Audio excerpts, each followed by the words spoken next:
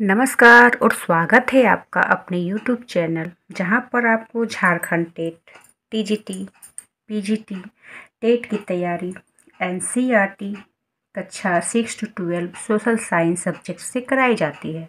और जैसा कि आप जानते हैं आज का जो हमारा चैप्टर है वो कक्षा सेवन का आ, हिस्ट्री है। और हिस्ट्री में भी आज का हमारा चैप्टर एट है जिसका नाम है ईश्वर से अनुराग। और इस चैप्टर पे हमने अपना फ़र्स्ट पार्ट कंप्लीट करा दिया है। और अगर आपने उसे नहीं देखा है तो आप चैनल के प्लेलिस्ट में जाकर ज़रूर देखें। तो देखिए शीर्षक से ही आप समझ चुके हैं इसमें आपको ईश्वर, धर्म और किस क्षेत्र में किस व्यक्ति ने किस धर्म संप्रदाय को विकसित किया, इसके बारे में हमने पढ़ा है। तो हमने सबसे पहले दक्षिण भारत के बारे में जाना कि यहाँ पर किस तरह से नैनार, अलवार, इन्होंने सातवीं से नौ शताब्दी के बीच में काफ़ी सारे संत होते हैं। और ये बहुत सारे जातियों के रहते हैं, किसी खास जाति विशेष के नहीं रहते हैं अलग अलग जातियों के रहते हैं। और ख़ास तौर का, तौर पे वे ऐसी जाति रहते हैं जिन्हें अस्पृश्य समझा जाता था। और फिर हमने नैनार के बारे में जाना, अलवार के बारे में, नैनार की संख्या सिक्सटी थ्री और अलवार की संख्या ट्वेल्व। फिर हमने शंकर रामानुज वशवना वीरशेवाद इनके बारे में हमने जाना था। फिर हमने महाराष्ट्र के संत के बारे में जाना नरसिंह मेहता के बारे में भी हमने जाना था, और कुछ हमने स्थानों के नाम जाना कि वो किस लिए मशहूर थे। जैसे कि पंजाब जो था, वो बाबा फरीद के लिए दिल्ली, कुतुबुद्दीन, बख्तियार काकी के लिए तो हमने ये सब जाना था। तो चलिए, आज हम अपने सेकेंड पार्ट की ओर आगे बढ़ते हैं।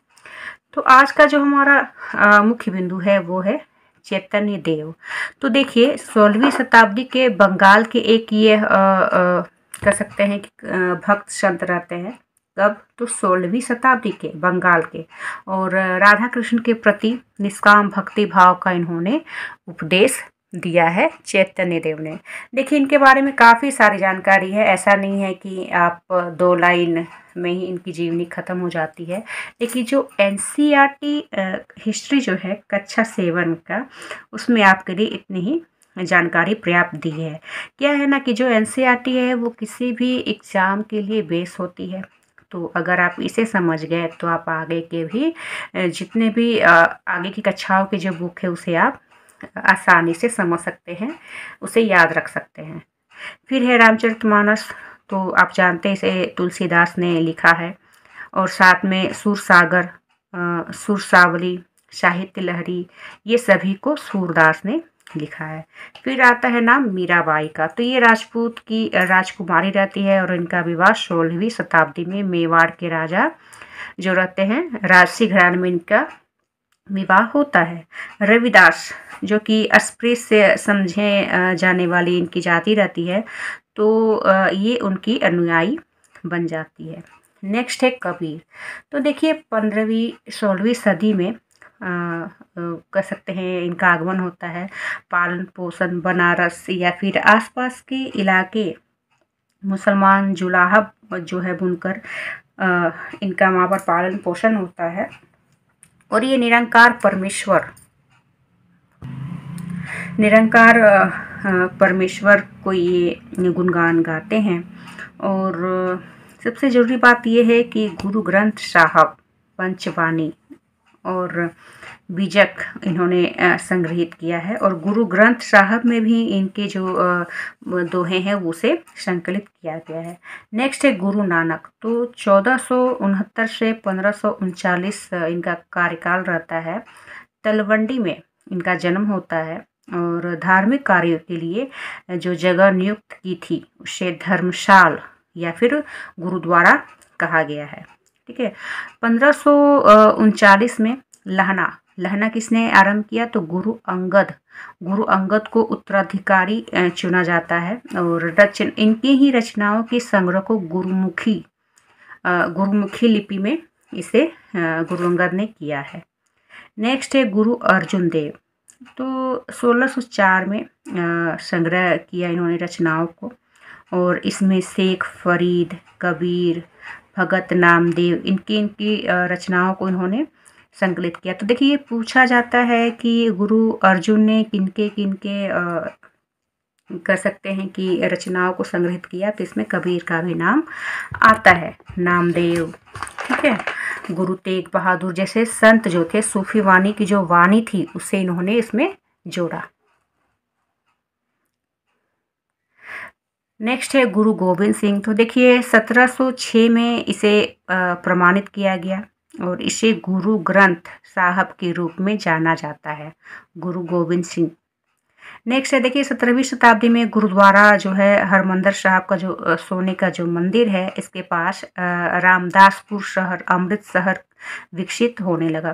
तो देखिए, ये जो गुरुद्वारा है, सोने का जो है उसे बनाए किसी और ने था और उसके आसपास जो शहर था अमृतसर उसे किसी और ने बसाया और जो कुंड है, तालाब है, उसे भी किसी और ने बनाया था। तो ये अलग अलग राजाओं के द्वारा किया गया है। जहांगीर ने 1606 में अर्जुन देव को मृत्यु दंड का आदेश दिया। तो ये भी पूछा जाता है कि जहांगीर ने किसे मृत्यु दंड दिया? तो अर्जुन देव को। सोलह में गुरु गोविंद सिंह ने खालसा खालसा संस्था खालसा पथ का, जो खालसा पथ के नाम से जाना जाने लगा वो सोलह सौ निन्यानवे में इसे इन्हीं इन्हीं ने आरंभ करवाया था। अब देखिए, जो गुरु नानक के जो विचार है, नाम का मतलब होता है सही उपासना। सबसे पहले तो ये आप जान लें कि गुरु नानक के तीन विचार है, नाम, दान और स्नान। नाम का मतलब होता है सही उपासना, दान होता है दूसरों का भला करना, स्नान होता है आचार विचार इनकी पवित्रता। अब इसी समय मार्टिन लूथर आते हैं सोलहवीं शताब्दी में। सोलहवीं सदी में यूरोप में धार्मिक उथल पुथल काफ़ी होती है। ईसाई धर्म में परिवर्तन लाने वाले कौन थे? तो लूथर रहते हैं। और कैथोलिक चर्च के नीति बाइबल की ये विरोधी रहते हैं। ठीक है तो लूथर ने लैटिन भाषा के बजाय जो आम जनता की जो भाषा थी जर्मन उसमें बाइबिल का इन्होंने अनुवाद किया। प्रोस्टेट ईसाई अपना जो उद्भव था लूथर की ही शिक्षा में खोजते हैं। तो देखिए आपने भारत में भी देखा होगा वैदिक काल में जो आ, कर सकते हैं कि बुद्ध ने जो आ, पाली भाषा में जो जनता की भाषा थी, आम जन की जो भाषा थी तो बुद्ध ने पाली में उपदेश दिया। तो यहाँ पर भी मार्टिन लूथर ने भी जो धर्म की जो भाषा थी उन्होंने कैथोलिक चर्च के विरुद्ध, बाइबल के विरुद्ध उन्होंने उसे हटा दिया और जो जनता की जो भाषा थी आमजन की जो भाषा थी, जर्मन, उसमें बाइबल का अनुवाद किया और काफ़ी ये अपने धर्म को आगे ले जाते हैं। तो यहाँ पर यूरोप में मार्टिन लूथर का नाम आता है। तो देखिए, इस तरह से जो हमारा अध्याय एट है, इस वर्ष से अनुराग आज यहीं पर समाप्त होता है। और नेक्स्ट वीडियो में हम अध्याय नौ को पढ़ेंगे, जिसका नाम है क्षेत्रीय संस्कृतियों का निर्माण। तब तक के लिए धन्यवाद।